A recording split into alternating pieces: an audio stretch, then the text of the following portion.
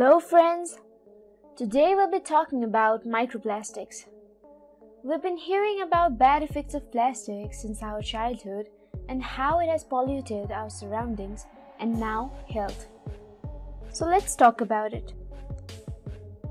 Plastics have always been an enemy to the environmental health, and now it's official.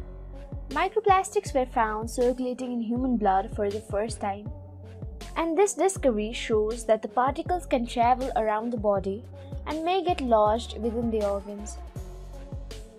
Virtually, no place in Earth is free from the plastic polymer.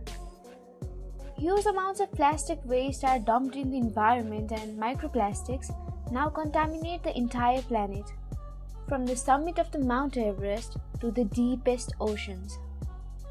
People were already known to consume the tiny particles via food and water, as well as breathing them in, and they have been found in the feces of babies and adults.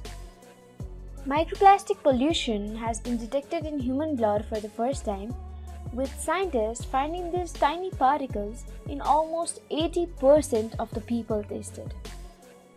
The researchers in Amsterdam analyzed blood samples from 22 healthy adults and found that plastic particles were present in 17 of them. Two different methods were used for identifying the chemical makeup and masses of the particles. It is shown that half the samples contained polyethylene terephthalate or PET plastic, which is most commonly used in drink bottles, while one third of them contained polystyrene, which is used for packaging food, in vehicle parts, carpets, and other products.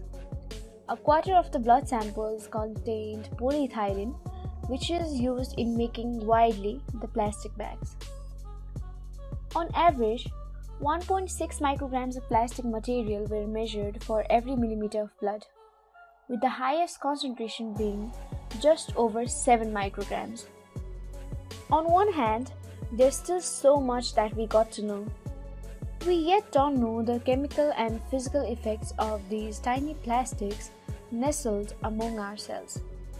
The wide impact on our health is still not much known, but researchers are concerned as microplastics cause damage to the human cells in the laboratory and air pollution particles are already known to enter the body and cause millions of early deaths a year.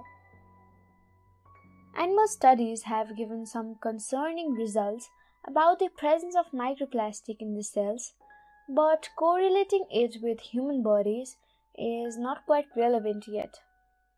Nonetheless, this problem is a growing one with plastic waste entering our oceans set to double by 2040 according to the scientist. As all of these discarded shoes, forks, bread tags, steering wheels, and chocolate wrappers break up, a greater concentration of microplastics will gradually find its way into our bloodstream. What do these microplastics do to the human body?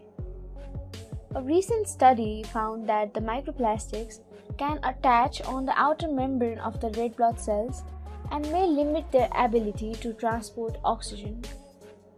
These particles may also have been found in the placentas of pregnant women, and in pregnant rats, they pass rapidly through the lungs into the hearts, brain, and other vital organs of the fetuses.